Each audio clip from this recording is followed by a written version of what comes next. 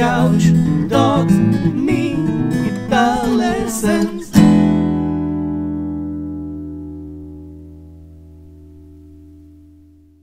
Hey there, Lick and Riffers, how are you doing? Welcome to another full fingerstyle arrangement lesson right here on Lick and Riff. In this video, we're gonna learn to make you feel my love, the Bob Dylan song that everyone covered.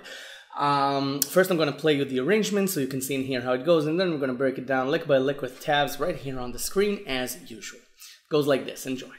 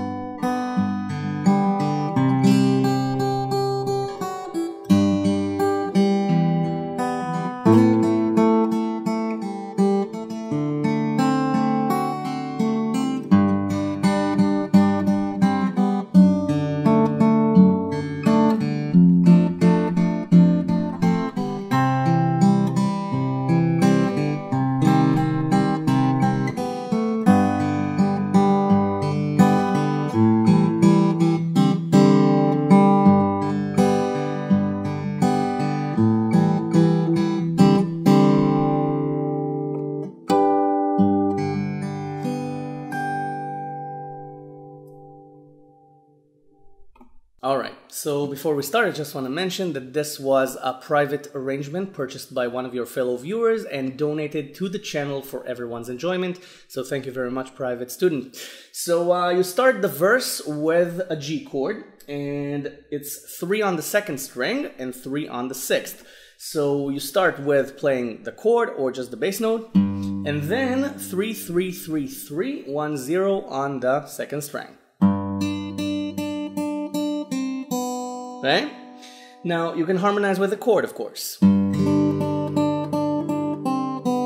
And then you have D over F sharp. It's 3 and 2 on strings 2 and 3, and 2 on the 6th string, either with your first finger or with the thumb, uh, whichever is more comfortable for you. And you play strings 2 and 6, and then 2 2 on the 3rd string.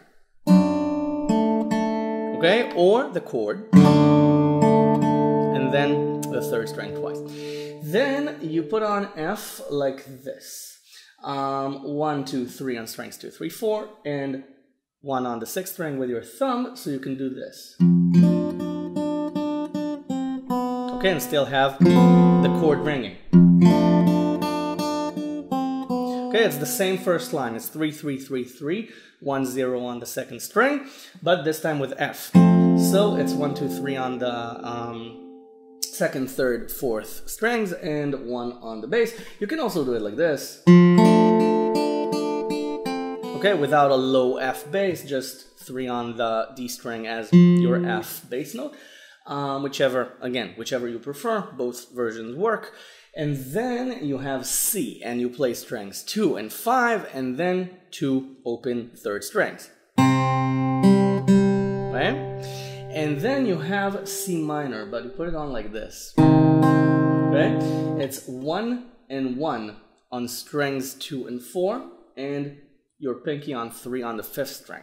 Now, why is that? This is a C chord, two on the D string is the major note, and we want a minor note, so two goes down a half step down to one, and we have C minor. Now, it's very important that you don't play the first string, okay? Because that's E, and we have E flat, which is the minor note. So only play strings 2, 3, 4, and 5. Now uh, you play strings 4 and uh, 5 for the minor change. And uh, you can also, of course, play the third string with it. And then it's uh, 1 1 1 1 0 on the second string, and then 2 on the third. Right? You can let go of the chord when you play the open second string, because uh, if you play this, you have C minor major 7, and that's not the harmony you're going for. So play C minor, let go of the chord when you play the open second string, and then 2 on the third string. Got it? Then it's G again, this time 3 on the bass and the open second string, then 2 open third strings. Right? And then you have A7 and you play the fifth string, then you play strings 3 and 4, the open third string 2 on the fourth, and then two more third strings. Okay, so you have then you have C over D, meaning one on the second string, open third, open fourth. Okay, and you can play that twice. Okay, for emphasis or once and then another third string. This is weaker in my opinion, weaker musically, so I advocate playing uh, the chord twice for um, emphasis, and then the open third string and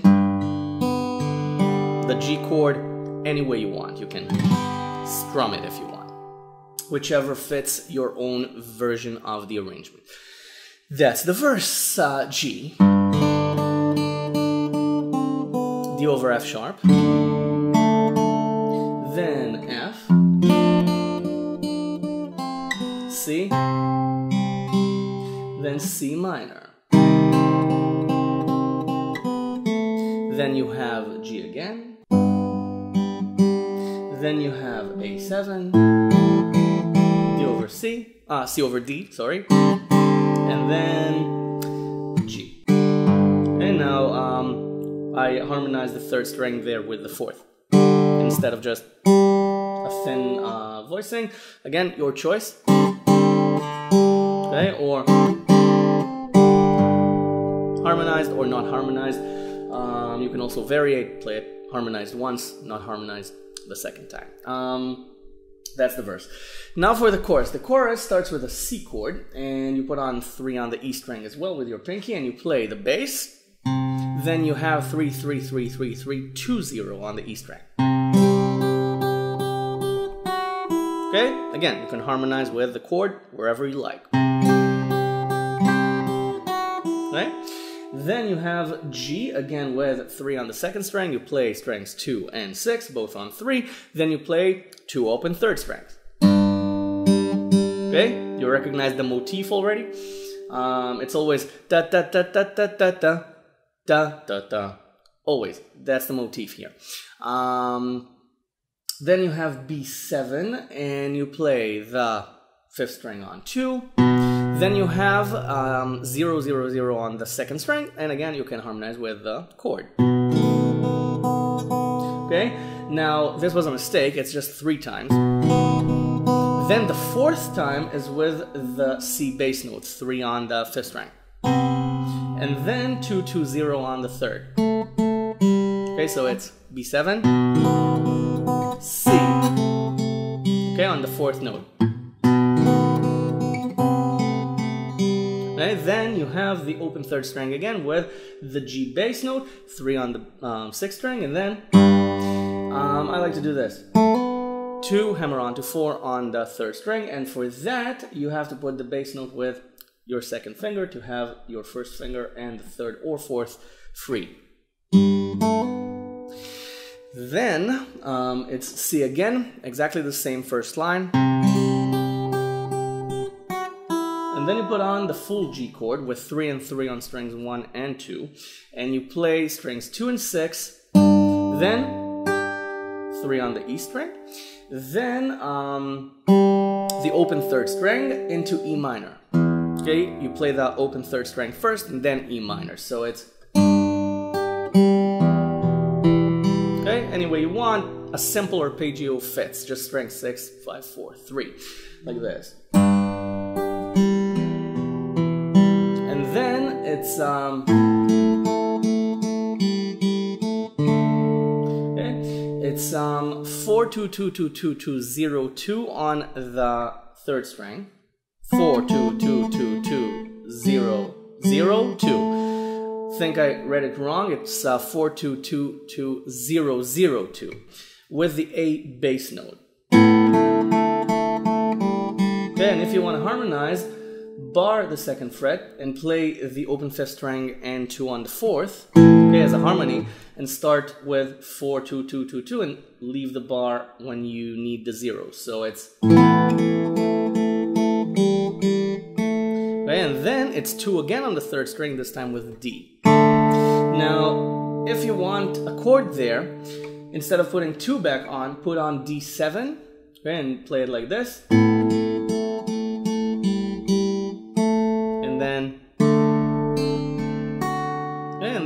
Just arpeggiate the chord in any way you see fit. Okay, so that's the chorus. C, G,